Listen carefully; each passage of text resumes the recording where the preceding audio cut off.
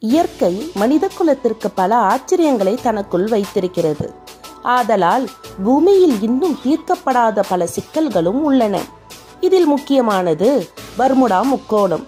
இதை வைத்து எடுக்கப்பட்ட திரைப்படங்களும் புத்தகங்களும் கோடிக்கணக்கான வரவை அள்ளி தந்துள்ளன. ஆனா பர்முடா முக்கோணத்தின் மர்மம் மட்டும் மர்மமாகவே இருக்கிறது. பர்முடா முக்கோணம் என்றால் என்ன என்று கேட்கிறவங்களுக்கு விளக்கம் சொல்றேன் கேளுங்க. வடக்கு அமெரிக்காவுக்கு கிழக்கே பனாமா கால்வாய்க்கு அருகில் பர்முடா தீவு அமைந்துள்ளது. இதை ஒட்டி இருக்கும் மர்மமான தேசத்துக்கு வைக்கப்பட்ட பெயர்தான் பர்முடா முக்கோணம். இதை சாத்தானின் முக்கோணம் என்றும் மக்கள் அழைக்கிறார்கள்.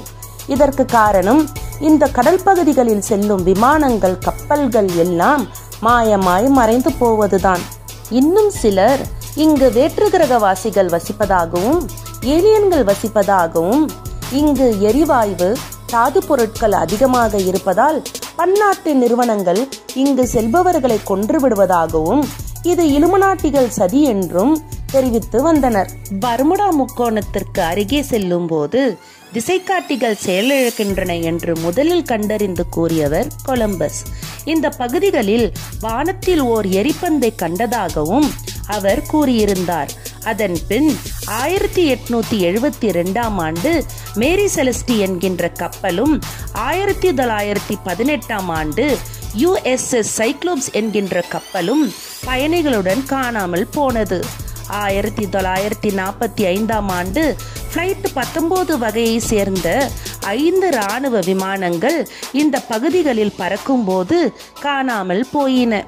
ஆயிரத்தி தொள்ளாயிரத்தி நாற்பத்தி ஒம்போதில் ஜமைக்கா நாட்டுக்கு சொந்தமான பயணிகள் விமானம் முப்பத்தி ஒம்பது பயணிகளுடன் மாயமானது.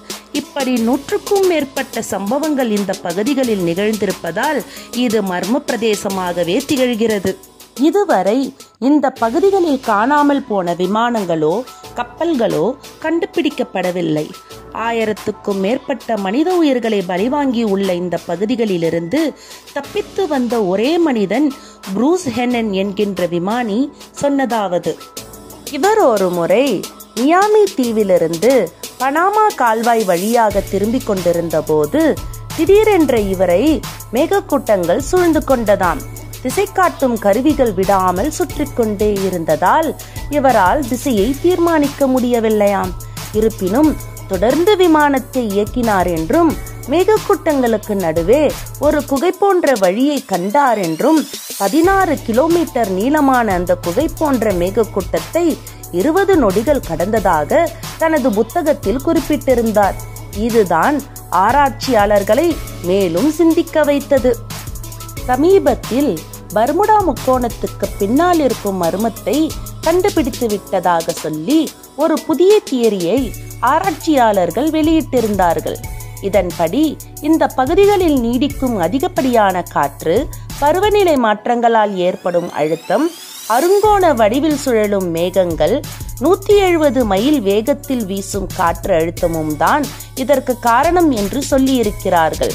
இந்த காற்று படிமங்கள் கப்பல்களையும் விமானங்களையும் உள்ளிழுத்து கொள்ளும் அளவிற்கு சக்தி வாய்ந்ததாக இருப்பதாக கண்டுபிடித்துள்ளனர். இது குறித்து வானியல் ஆராய்ச்சியாளர்கள் குறிப்பிடும்போது செயற்கைக்கோள் மூலம் எடுக்கப்பட்ட புகைப்படங்களில் இந்த காற்று வடிவங்கள் மிகவும் வினோதமான வடிவில் உள்ளன என்றும் இவை ஏற்படுத்தும் வெடிப்புதான் இந்த அழுத்தத்திற்கு காரணம் என்றும் தெளிவாக தெரிகிறது என்கிறார்கள். எப்படியோ இத்தனை ஆண்டு கால மர்மம் ஒரு வழியாக தெளிவாகிவிட்டது.